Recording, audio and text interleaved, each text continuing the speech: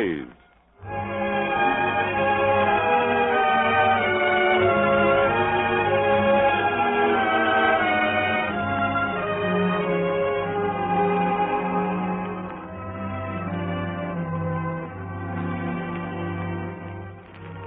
National Broadcasting Company presents Great Plays, a series of famous plays selected to show the development of drama from the sunrise performances in ancient Athens down to the contemporary theater.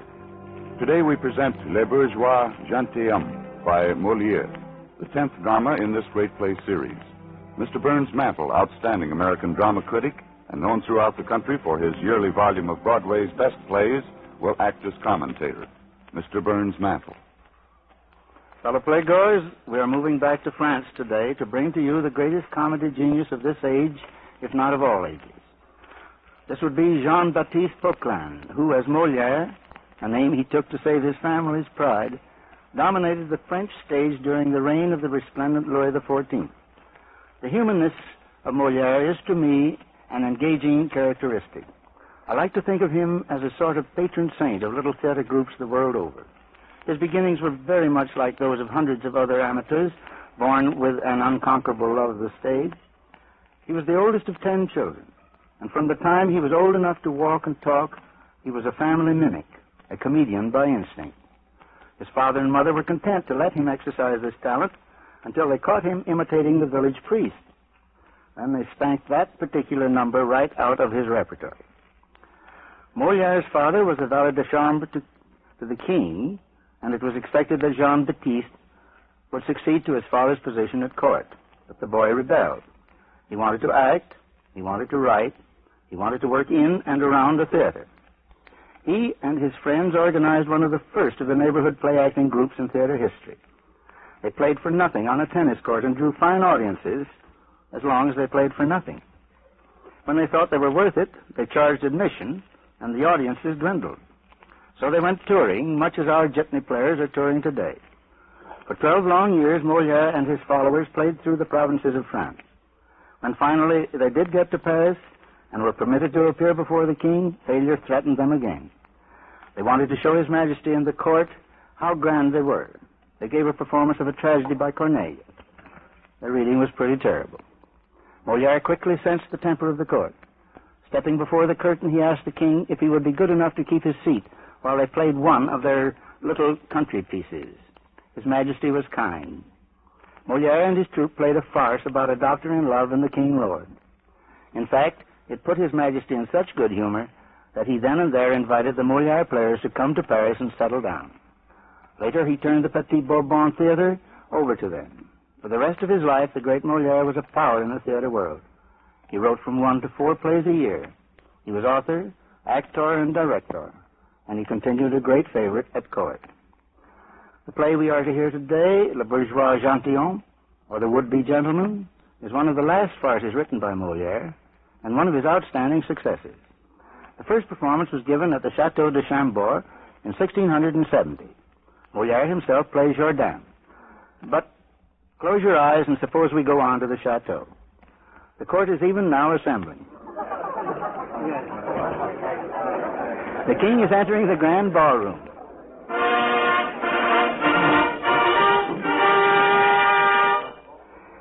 He makes, he makes his way with members of his court up the grand stairway where chairs have been placed for them on the first landing. Across the end of the ballroom, opposite the king, a curtain has been drawn. This is probably the first use of the picture frame stage as it has come down to us today. The orchestra is playing music composed by Baptiste Lully. Le Bourgeois Gentilhomme, being interspersed with ballets, songs, and choruses, might be called the first musical comedy. The entire action of the play takes place in the palatial residence of Monsieur Jourdain, a Parisian merchant of great wealth and great social ambition. Monsieur Jourdain is determined to become a gentleman. With his money, he plans to buy courtly manners and a cultural polish. Now they are drawing the curtain. On the stage are a music master and a dancing master waiting to give the old gentleman his first lesson. The music master is speaking. Now, you musicians, enter this hall and remain there until Monsieur Jourdain comes in. And will you dancers and singers step into this room and wait until I call you? Is your composition finished, Monsieur Music Master? Yes. Is it something new? Yes, it is a little air for the serenade that I have just had my pupil compose while we were waiting for Monsieur Jourdain to wake up. You will hear it soon with the words when he comes. Our commissions are so few nowadays that we are lucky to have found a man like Monsieur Jourdain with his good income and his visions of aristocracy and gallantry. Yes, but I should be glad if he knew more about the things we are trying to do for him. True, he knows little, but he pays well, and it is this easy money that our arts need more than anything else. Well, as for me, I confess I feel repaid a little by fame, and that I enjoy applause. For it is a torture to perform before unfeeling blockheads. I agree with you. I too like praise. Nothing pleases me more. But a man cannot live on applause. Something more solid is necessary. The best praise is silver. to be sure, our patron is far from cultured, but his good money makes up for his poor judgment. And this ignorant bourgeois is more help to us than the refined count who introduces us here. There is something in what you say. Father Hush, here comes Monsieur Jourdain. Uh, sorry to have kept you waiting, gentlemen. But it is because I am to dress today like a person of quality. And my tailor has sent me some silk stockings that I thought I could never get on. We are here to await your pleasure, monsieur. I beg you both to stay till my tailor brings my dress coat. I want you to see how I look in it. We will do so with pleasure, monsieur. You will then see me dressed in the latest style from head to toe. But now to business. Uh, will you two kindly explain to me uh, why I should take up the study of music and of uh, dancing, and what I can gain thereby? Without music, monsieur, one cannot hold his place in the fashionable world. Without Eh? knowing how to dance, a man would know nothing. Eh? Will you see what we have arranged for you? Yes. Uh, it is a little attempt which I made some time ago to express different passions in music. Uh, very well. Uh, go ahead. Come, musicians, your song. You must imagine that they are dressed like shepherds. Why always shepherds?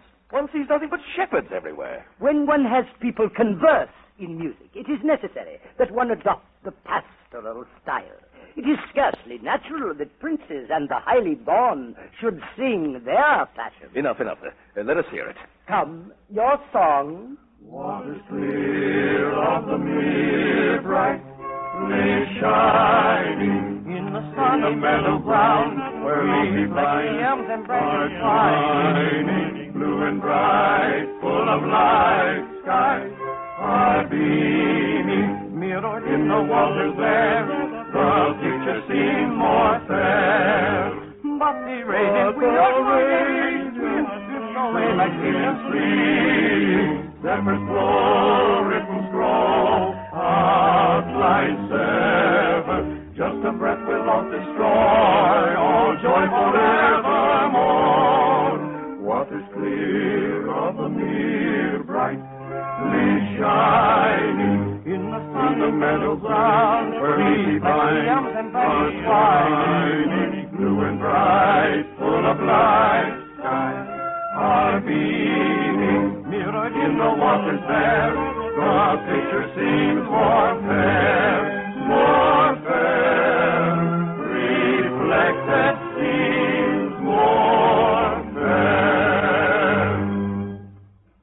that all? Yes, monsieur. It's not bad. You will see something elegant in the little ballet I have prepared for you. Well, that is to be given soon, I hope. The person for whom I wish all this prepared is to do me the honor of dining here very soon. But this is not enough, monsieur. A person magnificent as you are, and with your taste for beautiful things, should have a musical concert at his home every Wednesday or Thursday. With dancing. Do people of quality have these? Yes, monsieur. I will have them then. Uh, by the way, dancing master, uh, teach me how one should bow to a marquise. I shall need to do so soon. A bow to a marquise? Yes, a marquise whose name is Dorimene. Give me your hand, monsieur. No, no, no. You have only to do it. I will remember it very well. Very well, sir. Observe me closely. If you wish to salute her with much respect, you must first make a bow backwards. So. And then step towards her with three reverences forward. So, so, so, and at last lower yourself to your knees. Thus. Ah, good. I shall remember.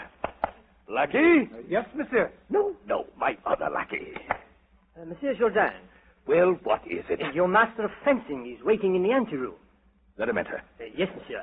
Gentlemen, I want you to stay and see me take my fencing lesson. And with the foils, Lucky. Yes, monsieur. This way, monsieur. Thank you. Ah, good day, Monsieur Jourdain. Ah, fencing master. Ah, I see you are ready. Yes. Um, come, monsieur. Uh, salute. Uh, your body erect. Ah, uh, lean slightly on the left thigh. Yes. The legs not so far apart. Uh, your feet on the same line. So. Uh, your sword opposite your shoulder. Uh, don't hold your arms so stiff. Ah, better. Uh, head erect. Uh, eyes firm. Now, so. Uh, lunge. Uh, uh, body erect. Steady. Uh, touch my sword cas. Mm. Uh, one, two, recover. No, no, leap back. Uh, body well back when you make a thrust, and sword thrust out. Uh, uh, one, two, ready on tierce again. Advance. Uh, uh, steady. Uh, uh, advance. Uh, steady. Uh, advance from this front. Uh, one, two. Uh, recover. Uh, repeat. Leap back. Uh, parry, monsieur. Parry. You do that marvelously well, Monsieur Jourdain. I have already told you the secret of fencing consists in only two things to give and not to receive. And it's impossible for you to receive a stroke if you know how to turn the sword of your enemy with a little movement of the wrist. So. Uh, in that way, a man with uh, no courage at all is sure of uh, killing his enemy without being killed? Yes, yes. It's in this that one sees how far the science of arms excels all the other useful sciences, such as uh, uh, dancing and uh, music. Speak of dancing with respect, pray. Learn, I pray you, to speak better of music, too. You are both ridiculous uh, to wish to compare your small sciences with mine. Behold the ridiculous animal with his pad. Behold a little man of importance. My little dancing master, I will make you dance in the latest style. So, and you, my little musician, I will make you sing in a beautiful manner. So, Oh, Peter of Iron, I will teach you your business. Are you mad to quarrel with a man who understands how to kill by practical demonstration? I scorn his practical demonstration. I pray you. Uh, you impudent? How great now, Croton! I implore you, gentlemen. I I will beseech press you. you in a way that will... Oh, I will beseech take you. My head us teach him how to talk. Hello, hello. What have we here? Oh, master philosopher, you are just in the nick of time with your philosophy. Come and make peace between these people. What is it, gentlemen? They're quarreling about their professions. They have said hard words to each other, and, and they're about to come to blows. Oh, indeed. Oh, need one get out of temper in this way? And have you never read the treatise Seneca composed on anger? But, monsieur, this fencer comes here and insults us by decrying dancing and music. A wise man is above any insult which may be addressed to him. they are both audacious in wishing to compare their professions with mine. Is it necessary for you to get stirred up about it? It is not of vainglory and social position that men ought to wrangle.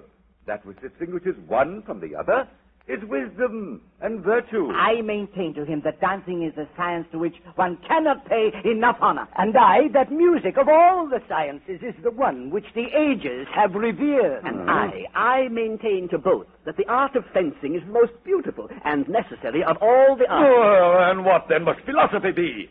You are all very impertinent to give the name of science to the miserable calling of the gladiator, the fiddler, and the juggler. Philosopher! Go, yes, Name! Scout, villain, Master philosopher. Gentlemen. Master philosopher. Gentlemen. Oh, oh, go beat each other as much as you please. I'm not going to spoil my robe to separate you. Come, Monsieur Jourdain. Uh, will you will you have your lesson now? Oh, my dear monsieur. I am sorry you have been so maltreated. No, that is of no consequence. A philosopher knows how to accept such things in a proper spirit. But uh, never mind. What is it you wish to learn? Ah, All that I can. For I have every desire in the world to become learned. And where do you wish to begin? Well, uh, uh, will you teach me um, uh, uh, orthography? Oh, so you wish to learn how to write well, eh? well, well, the letters are divided into vowels and consonants. The vowel A is formed by opening the mouth wide. A. A. Yes. The vowel E is formed by drawing the jaw up somewhat and partly closing the mouth. A. A. A. How wonderful. Hmm. The vowel I by dropping the jaw still more than the A and rounding the corners of the mouth a little forward. A. Ay, ay, ay, ay. Long live science. The vowel O is formed by opening the mouth wide and rounding lips forward. Oh. Oh. You're right. Oh. what a fine thing it is to know something. The vowel U is formed by bringing the teeth close to each other without allowing them to close. U. U. How cute. The lips are drawn up backward, as if you were making a mouth. Whence, if you wish to mock someone, you have only to say, you. You. how much time I have lost. Ah, how fine it is to have an education. Later I will explain to you the consonants and all their peculiarities. Thank you. And now, uh, I must tell you a secret. I am in love with a woman of quality, a marquise. And I want you to help me write her a little note, which I shall drop at her feet. Ah, you wish to write a poem to her? No, no, no, uh, not poetry. You are only going to write prose? No, I don't want prose, and I don't want poetry. It must be one or the other. Why? For the simple reason, monsieur, that there is no way to express oneself except in poetry or prose. There is nothing but prose and poetry. Nothing. All that is not prose is poetry, and all that is not poetry is prose. Oh. And when one speaks, what is that? That is prose. By my faith, I, I have spoken prose for more than 40 years without knowing it. I am greatly obliged to you. I should like then to say in the letter, uh, a beautiful marquise, your beautiful eyes make me to die of love. But I want it expressed in a more gallant manner. Well, one could say first, beautiful marquise, your beautiful eyes make me die of love. Or, your eyes, beautiful with love, make me, beautiful marquise, die. Or again, die. Your beautiful eyes, beautiful marquise, of love me make. Uh, but of all these ways, which is the best? Beautiful marquise, your beautiful eyes make me die of love. Oh, my way. Yet I have never studied. And I did that at the first stroke. I thank you with all my heart. And I pray you uh, come early tomorrow. It is well. Good day, monsieur. Good day. Good day. Lackey? Yes, monsieur. No, no, my other lackey. Yes, Monsieur. sir. Hmm. I just wanted to see if you were about. You may go. Yes, monsieur. My coat hasn't come yet, has it? No, monsieur. That confounded tailor keeps me waiting all day, and I have so much to attend to. Oh, I'm furious. hurry, hurry. Monsieur Sudan is waiting. Ah, here you are, tailor. I was just about to get angry at you. You kept me waiting. I could not come earlier, monsieur. I had twenty apprentices at work on your coat. Here it is. No. What is this? You have embroidered the flowers upside down. You did not say you wished them otherwise. Are such orders necessary? Oh, yes, to be sure. All people of quality wear the flowers upside down. Oh. Oh. Very well, then. If you wish, I would have them changed. No, no, no. Do you think the coat will fit me? What a question. I defy a painter with his brush to make a closer fit. Will you put on your coat? Yes. Give it to me. Uh, wait, not that way. I brought an apprentice with me to dress you in the proper manner. This kind of coat must be put on with ceremony. Boy, Uh, yes, monsieur. put this coat on monsieur in the manner that you do the same service for people of quality. Uh, yes, monsieur. Uh, monsieur, if you please. Ah, oh, there. It is a beautiful coat. Uh, my lord, give me some money for drink, if you please. What is it you call me? My lord. My lord. See, Taylor, what it is to dress like a man of rank. You always dress like a tradesman. No one will ever call you my lord. There is silver. Oh, Monseigneur, I am greatly obliged to you. Monseigneur. Oh, Monseigneur. Wait, my friend. Monseigneur deserves something. It is not a little word. Here, this is what Monseigneur gives you. Oh, oh, thank you, sir. Uh, we're going to drink to the health of your highness. Your Highness. Oh, oh, oh, oh. By my faith, if he calls me your Majesty, you will have my whole purse. there. This is for my highness. Oh, thank you. Now, uh, leave me. Ah, Your Highness, I thank you most humbly for your liberality. Good day, Uh, Your Good day, Highness. Your Highness. Good day. Good day. Ah, how pleasant it is to be a gentleman.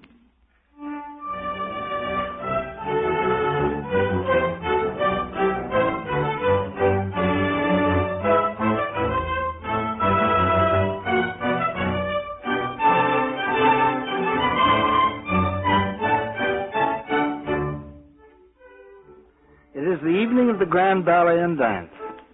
Comte Dorante has promised to bring the ravishing marquis. But first, Cleonte and his valet, Covielle, arrive. They are both in a temper because of the way they have been treated by Lucile Jourdain and Nicole, who meets them in the salon. Nicole? Yeah, monsieur. What is it? Listen. What are you laughing at? What do you mean? Oh, how you look togged out. What's the matter with you? Oh, great heavens. What an idiot. Are you making fun of me? Oh, no, monsieur, I should be sorry to do that. I'll box your ears if you laugh anymore. Oh, monsieur, I can't help it. Stop it. If you laugh again, I swear I'll slap your face. Oh, oh, well, monsieur, I'll not laugh anymore. Now listen to me. I want you to get the house ready for the company that will soon be here. Ah, by my faith, I no longer want to laugh. Your company so upsets the house that the word is enough to throw me into a bad humor. Am I to close my door for everyone, for you? You ought at least to close it to certain people. My husband, what have we here? You make yourself most ridiculous, rigging yourself out this way. Do you want everyone to make fun of you? No one but fools, Madame Jourdain, would laugh at me. Indeed. For a long time, your absurdities have been the butt of sensible people. I no longer know our home. One would say that it was carnival time every day. This squeaking of violins, screaming, and dancing threw the whole neighborhood into a turmoil. Be quiet, I say. You ought rather to think of marrying off your daughter. She's of an age to be provided for. Don't you worry. I shall think of marrying my daughter when a proper suitor presents himself. But I wish also to learn the beautiful things. I hear, madame, that he has taken today, as an addition to his soup, a lesson from a master of philosophy. Yes. I wish to learn how to converse with people of quality. What I say is good, sound common sense. You ought to make up your mind to turn over a new leaf. I ask you, what are the words that you are saying now? Good, sensible words. Your conduct is scarcely that. I don't mean that. What do I say to you now? What is it? Stupid nonsense. No, not the matter, but the manner. What we both say is the language we talk now. Well, well, What is it called? Whatever one wishes to call it. It is prose, stupid. Prose. Yes, prose. All that is prose is not verse, and all that is verse is not prose. See what it is to study. You're a fool, since you've taken it into your head to mix with the nobility. When I visit the nobility, I show my good sense. Far better than always being with common people. Yes, yes, truly. Especially with Monsieur le Comte, with whom you are infatuated. Stop it. You don't know what you're saying. He is a person of greater importance than you think. A lord who stands well at court and who talks with the king, just as I talk with you. Oh. Is it not a great honor that he should come here so often, call me his dear friend, and treat me as if I were his equal? Oh, yes, yes, yes. He does come here, and he flatters you, but you lend him money. It is enough to know that if I lend him money, he will return it to me, and with interest. You expect that? Assuredly. Has he not promised? I know he will not. Monsieur le Comte Dorante. Monsieur le Comte Dorante. Be quiet. Here he is. Just catch the climax. He comes, of course, to ask further loans. Quiet, I tell you. Uh, this way, Monsieur le Comte. Oh, my dear friend Jourdain, how do I find you today? Very well, monsieur. And ready to offer you any little service. And Madame Jourdain, how is she? Madame Jourdain is very well, I thank you. Monsieur Jourdain, you are most elegant. You look splendid in that costume. Indeed. Turn around. Uh, Ah, you look quite gallant, monsieur. As silly behind as before. My faith, Monsieur Jourdain, I have been strangely impatient to see you. You are the man whom I esteem most highly in the world, and I was speaking of you only this morning in the king's presence. Oh, you do me much honor, monsieur. In the king's presence, now, mark that.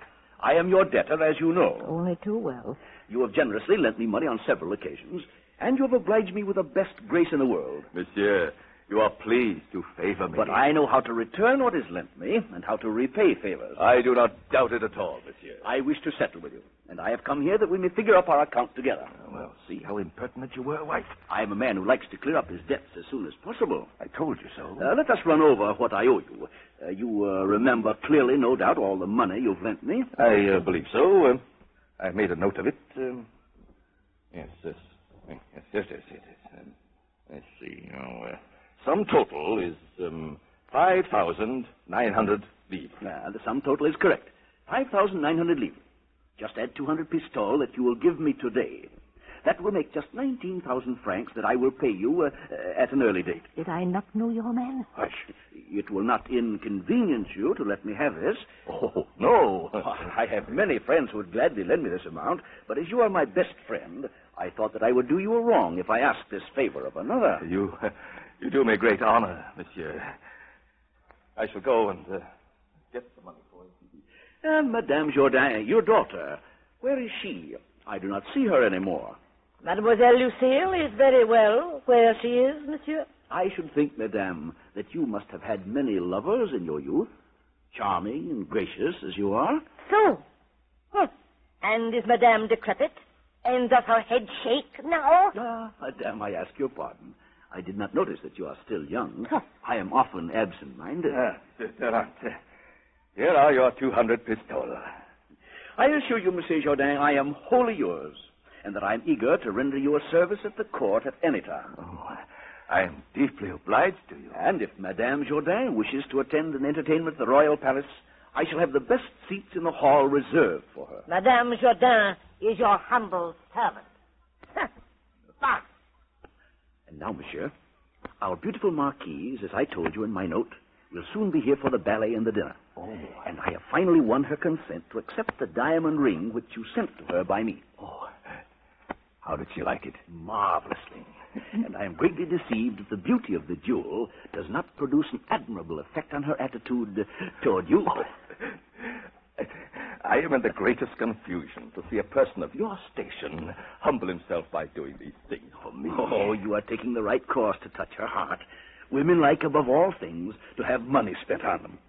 Soon you shall have the pleasure of seeing her. Oh, uh, in order to be quite at liberty, I have arranged to have my wife dine with my sister, where she will remain for the evening. Ah, you have acted wisely, as your wife might have embarrassed us. I have given your orders to the cook. The ballet we are to present is of my own invention. And if my ideas are adequately carried out, I am sure that it will be found. Nicole! What do you here? Eavesdropping? You are very impertinent. Let us withdraw, Monsieur le Comte. Faith, madame, my curiosity has cost me dear. But I think there is something in the wind. They are talking about some affair where they do not wish you to be. It is not the first time, Nicole, that I have suspected my husband. If I'm not very much mistaken, he has some love affair. And I shall leave no stone unturned to ferret it out. But first let us consider my daughter. You know Cleonte's love for her. He's a young man whom I thoroughly admire and approve, and I wish to aid his suit and give him Lucile if I can. Oh, indeed, madame. I am most delighted to hear this. For if the master pleases you, the valet Covielle pleases me nonetheless. Oh. and I wish that our marriage might take place in the shadow of theirs. Oh. Good. Then go tell Cleonte for me that he may come now, so that together he and I may ask Monsieur Jourdain's consent to his marriage with Lucie. I will run, madame, with joy. I could not receive a more agreeable command. I am going, I think, to make several people happy.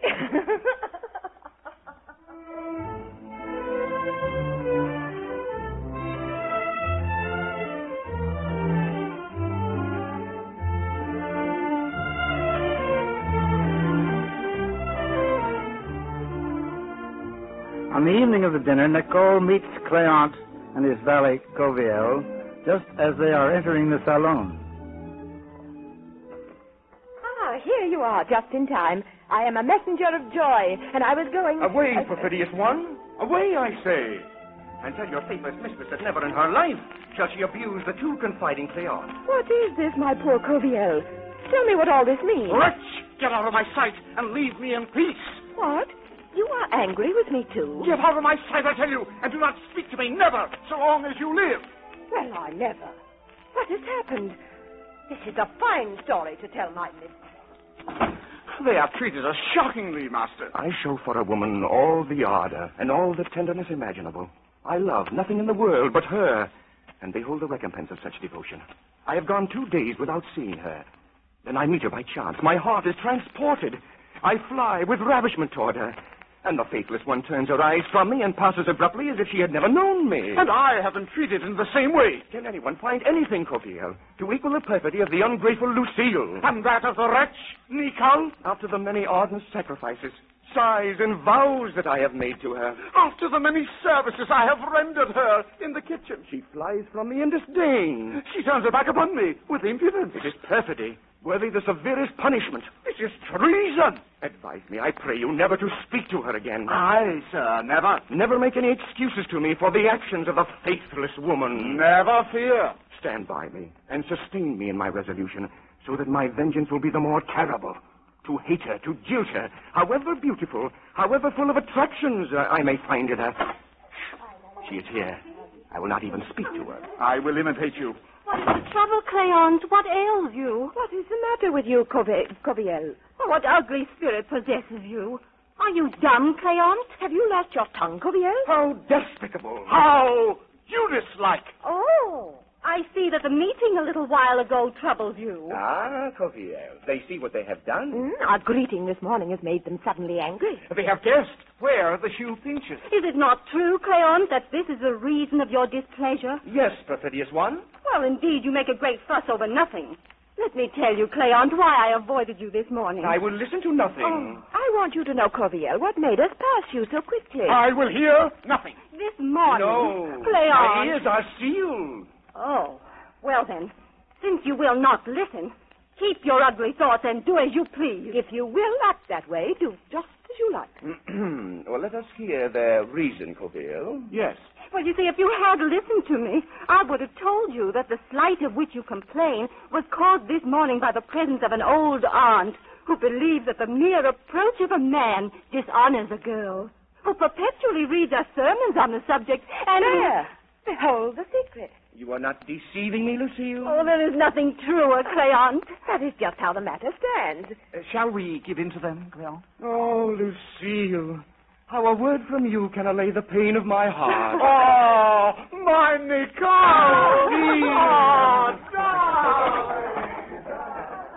Cleonte, I'm glad to see you. Ah, madame. You are here at a fortunate time.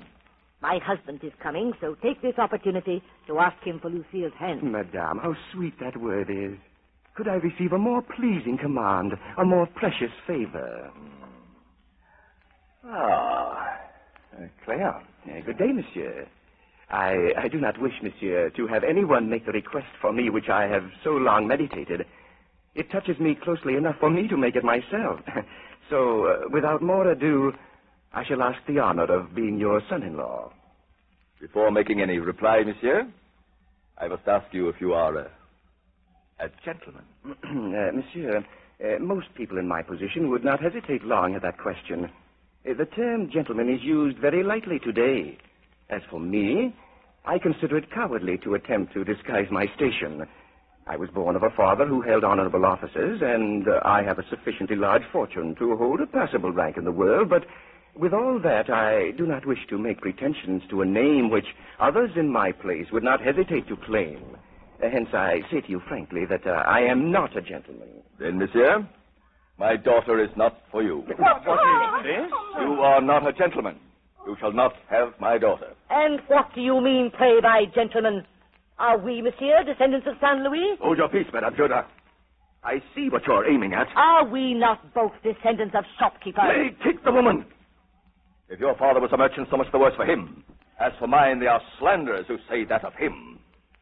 All I care to say to you, Monsieur Cleonte, is that I wish to have a gentleman for my son-in-law. My daughter shall be a marquise. And if you say anything more, I'll make her a duchess. Good day.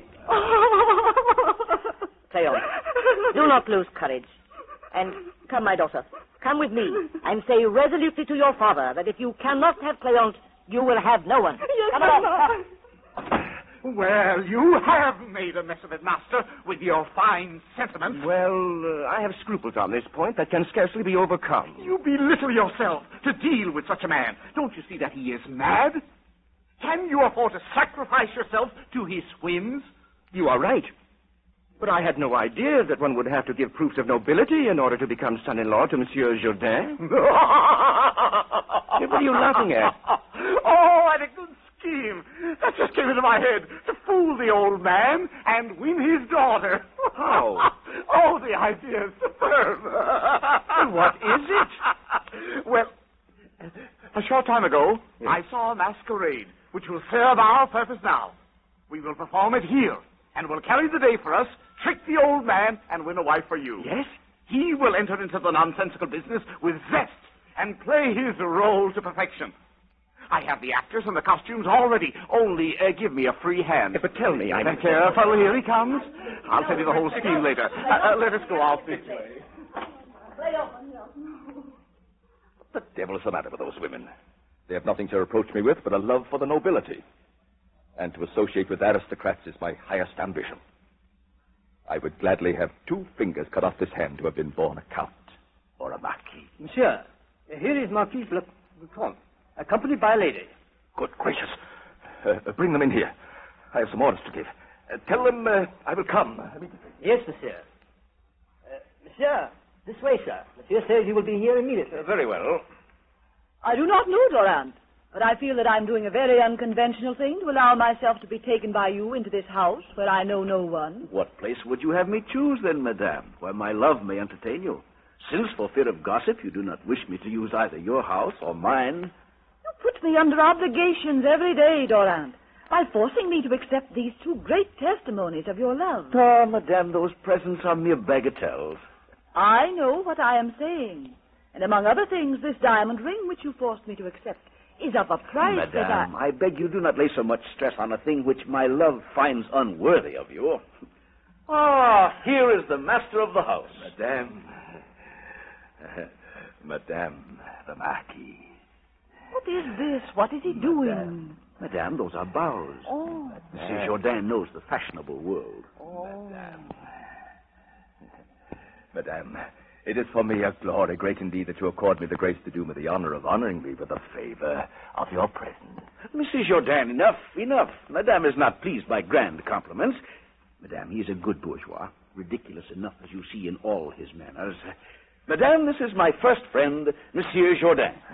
It is too much honor that you do me. A gallant man with irreproachable manners, whom I esteem most highly.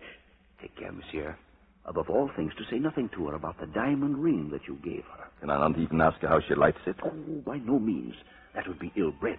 He says, madame, that he finds you the most beautiful person in the world. He is indeed gracious. Oh, Madame, it is you who are gracious, and...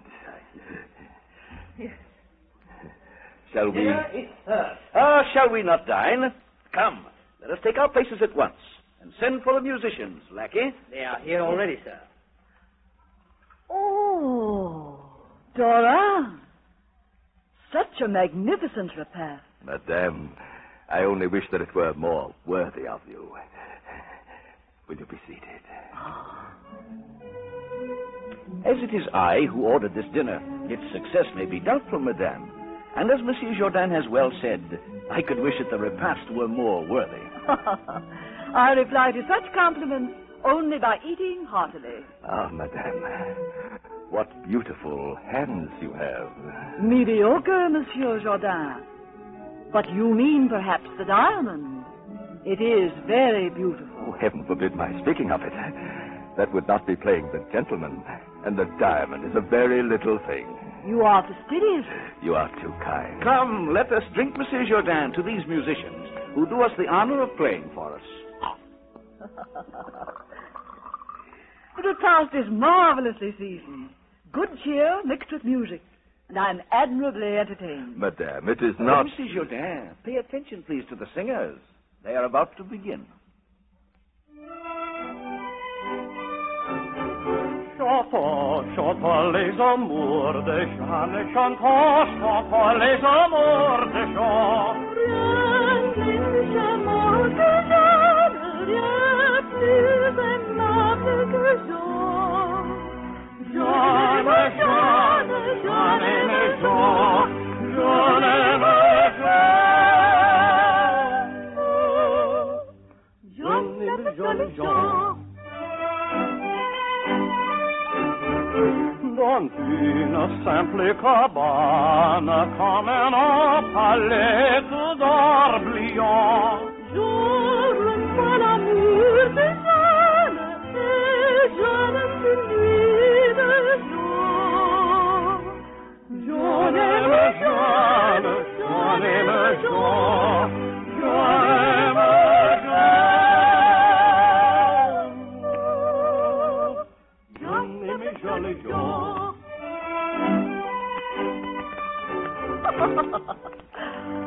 Oh, that was beautifully done. I do not think anyone could sing better. But here at my side, I, I see something far more beautiful. Oh, Monsieur Jourdain is more gallant than I thought. If I could touch your heart, I should be. Ha ha! Ha! So, I find here good company. And I see indeed that you did not expect me. Is it for this beautiful affair, monsieur, that you sent me to dine at your sister? I return to find a banquet fit for a wedding. So this is how you squander your fortune. And it's thus that you treat ladies in my absence, giving them music and play, while you send me out for an airing. Madame Jourdain, what are these ideas of yours? That your husband spends his money in such a manner, and that it is he who entertains Madame the Marquise? You're wrong. It is I, Madame. He only lends me his house. You ought to consider more carefully what you say. Yes, impertinent creature. It is uh, Monsieur le Comte who gives all this to Madame la Marquise, who is a lady of rank. He does me the honor of using my house to entertain her and of requesting the pleasure of my company. You are wasting your breath, my dear. I know what I know. What does this mean, Dora? You expose me to the insults of this furious woman? I'll take my leave. Good evening. Oh, Madame, Hola, Madame, where are you going? I do not know what keeps me from hurling at your head pieces of the repast that you have broken up. I uphold my rights, and everyone would support me in this. You would do well to avoid my anger, madame. Ah, bah, bah, bah, bah. I, beg your pardon, monsieur. Oh, who is this? Uh, I do not know, monsieur, whether I have the honor of being recognized by you. No, monsieur. I knew you when you were no higher than that. Me? Uh, yes, I was a great friend of your late father. Of my late father? Yes, he was a very honorable gentleman. What is this you say? I say he was a very honorable gentleman.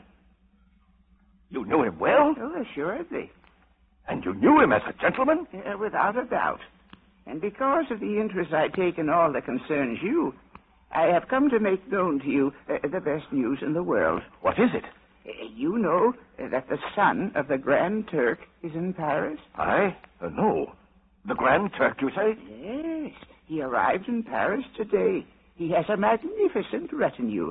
Everybody pays him homage, and he has been received by the king as a potentate of great importance. By my faith, I did not know that. And uh, what concerns you uh, directly, monsieur, is that he is in love with your daughter. What?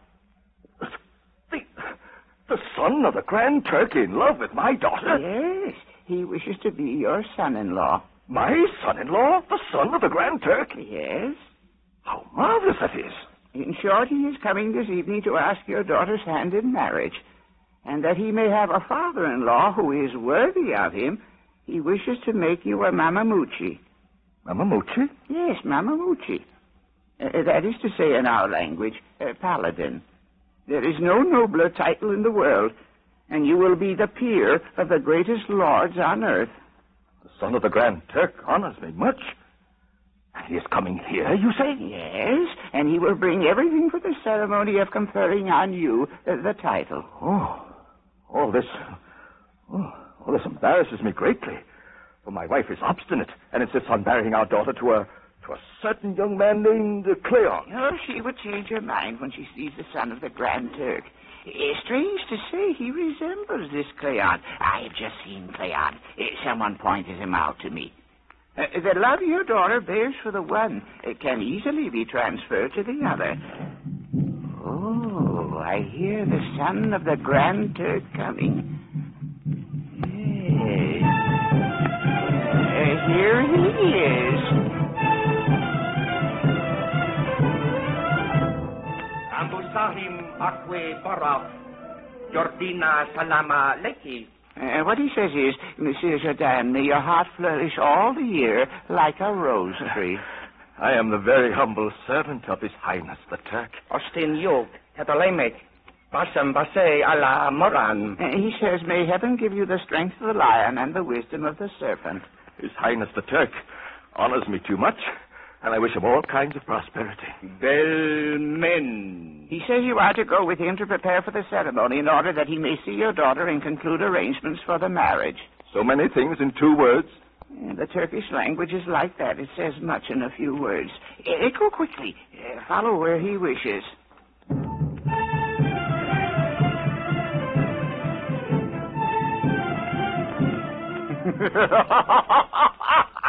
oh, my face. This is a roaring good joke. What a fool.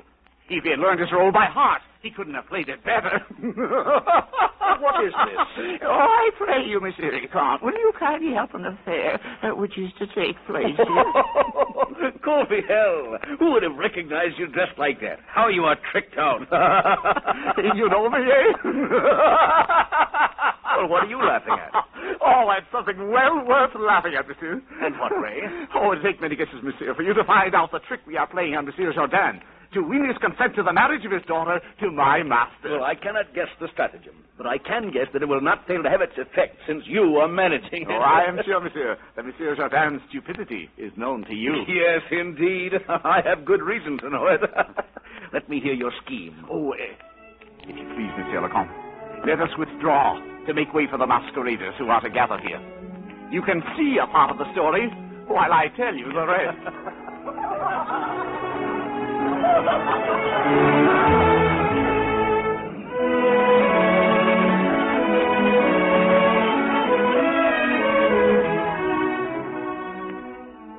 As Comte Dorante and Covielle draw to one side, there is considerable excitement on the dancing floor. The ballet is now grouped about the stage. Presently, eight tall figures in gay Turkish costumes appear with a rug, which they unroll in front of a large throne chair. Now Cleonte, disguised in the royal costume of a Turkish prince, follows them and is seated on the throne. The Turks form two lines, making a lane through which a second escort of Turks conducts Monsieur Jourdain to the throne. The old gentleman is bowing and scraping extravagantly. Allah, Allah, Allah, Allah,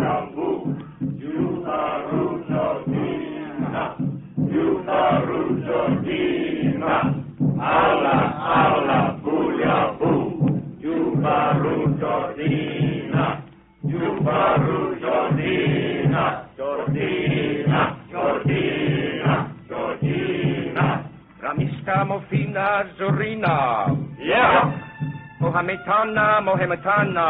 Hai Lala, Hai Lala. Koma Shamara, Koma Shamara. Jordina, Jordina. Jordina. Uguri. Ah, I must kneel. Sets a turban upon my head. He strikes me with his sword. Starbone Turka Giordina. Allah, Allah, Buyabu, Yubaru Jordina, Yubaru Jordina. Allah, Allah,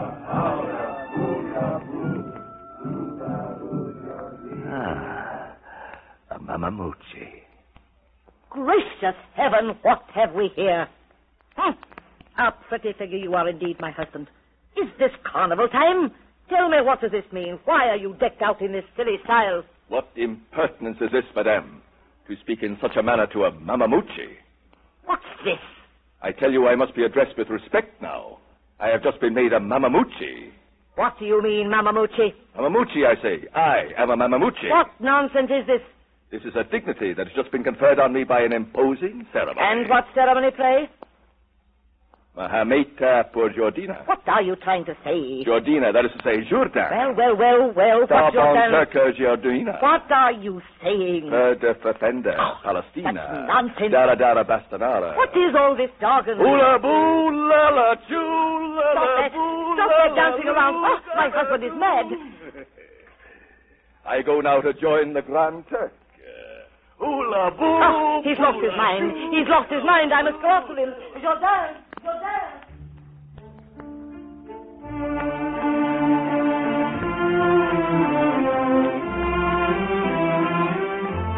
yes, Marquise. You will see here a most amusing thing. I do not think it would be possible to find a man more foolish than he. And then, madame, we ought to help Cleonte in his little love affair by supporting this masquerade. I'm deeply interested in the affair. Cleonte deserves all success. Besides, we have here, madame, a ballet which is due us, in which we ought not to miss. I want to see if my ideas are well worked out.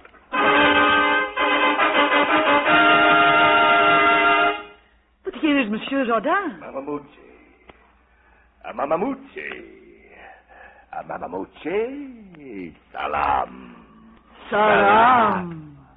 Monsieur, we have come, madame and I, to do homage to your new dignity and to rejoice with you over the marriage you are about to arrange between your daughter and the son of the Grand Turk. Monsieur, may you have the strength of serpents and the prudence of lions. I am anxious to be the first, monsieur, to congratulate you upon the high degree of glory to which you have attained. Madame, may you flourish all the year like the rose tree. I am infinitely obligated to you for your interest in my new honor, and am rejoiced to see you in order to make very humble apologies for my wife's behavior. It is of no consequence. I can excuse her indignation. You see, madame, that Monsieur Jourdain knows in his glory how to recognize his friends. It is the expression of a truly generous soul. Where is His Highness, the Turk?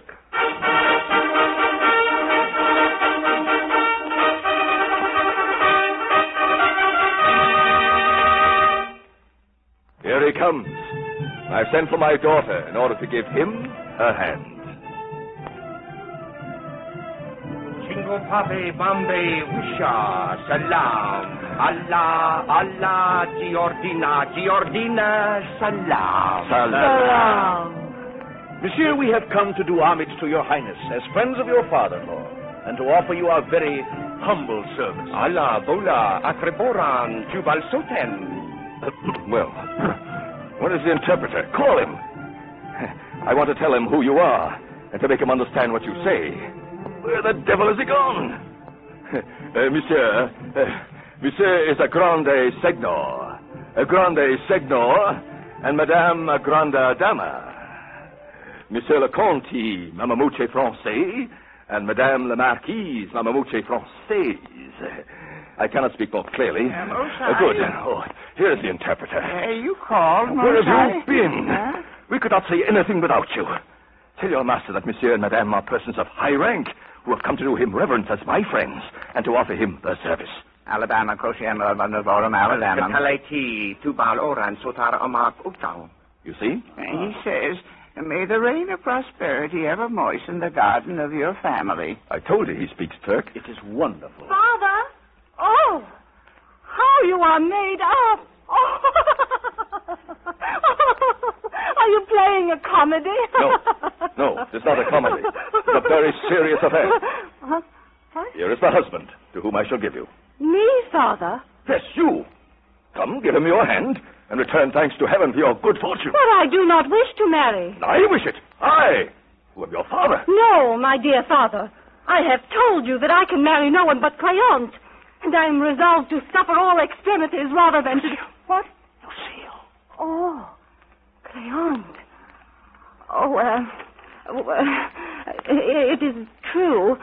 You are my father.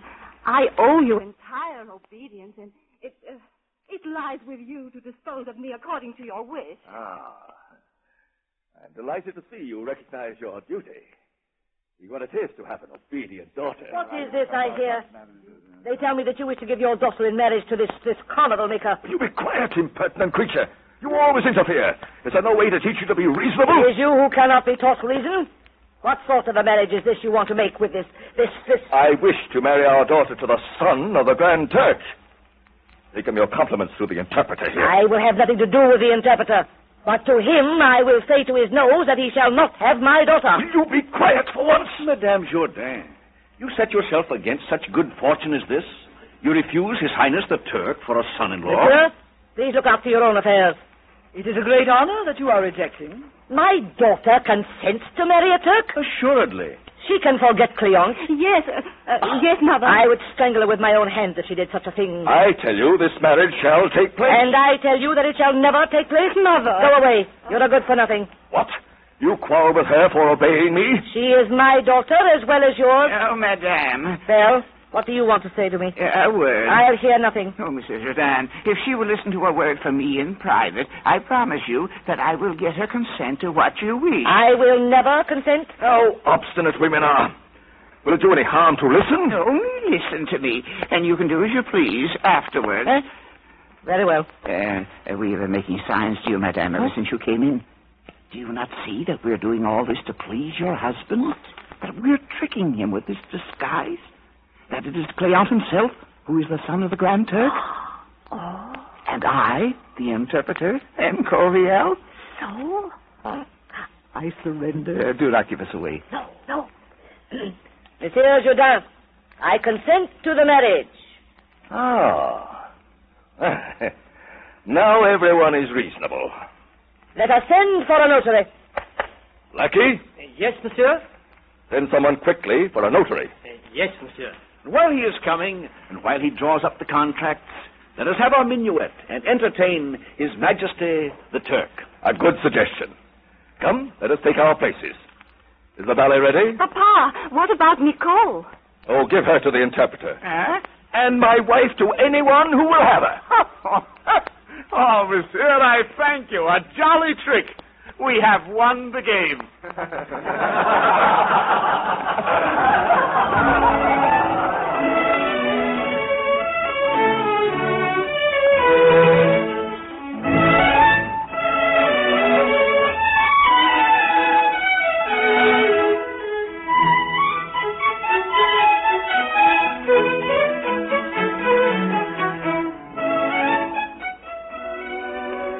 that is the end of our tenth play, Moliere's famous farce, Le Bourgeois Gentilhomme, or The Would-Be Gentleman. Our next play, which will be Oliver Goldsmith's fine comedy, She Stoops to Conquer, will not be broadcast until Sunday, January 8th. We hope you are enjoying this series of great plays, and that you will be with us again in two weeks. Until then, we're hoping that you will be thrilled by a fine Christmas and a happy New Year's, and that all your best wishes will come true.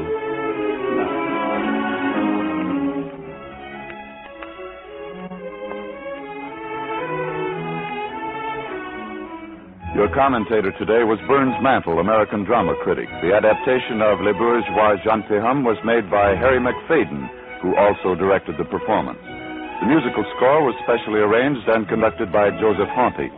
The cast included Monsieur Jourdain, Charles Webster, Madame Jourdain, Florence Malone, Lucile, Beatrice Miller, Dorimene, Ellen Maher, Dorante, Carl Benton Reid, Cleonte, Raymond Bromley, Nicole, Selena Royle, Covielle, William Shelley, a music master, Harry Mustair, a dancing master, Burford Hampden, a fencing master, William Thornton, a master of philosophy, Richard Gordon, a tailor, Don Morrison, apprentice, Junius Matthews, and a lackey, Jerry Lesser.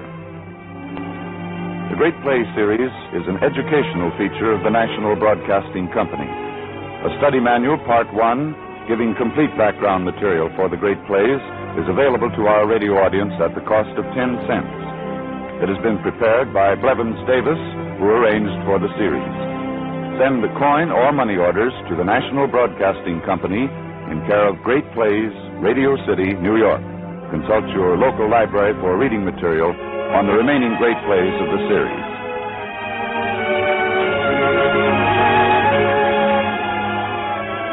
Le Bourgeois Gentilhomme was a presentation of the National Broadcasting Company and came to you from the RCA building, Radio City, New York.